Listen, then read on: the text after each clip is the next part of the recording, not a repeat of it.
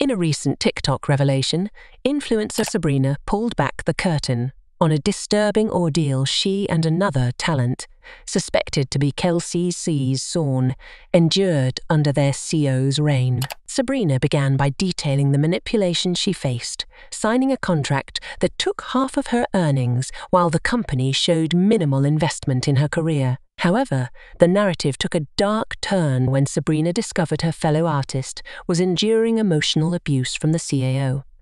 The CEO's violent tendencies escalated when Sabrina and the other talent casually discussed leaving the company. Confronted with their intentions, the CEO coerced them into signing a new contract, resorting to physical intimidation. In a shocking twist, the CEO deflected blame onto the other talent, labeling her as volatile and suicidal to justify his actions.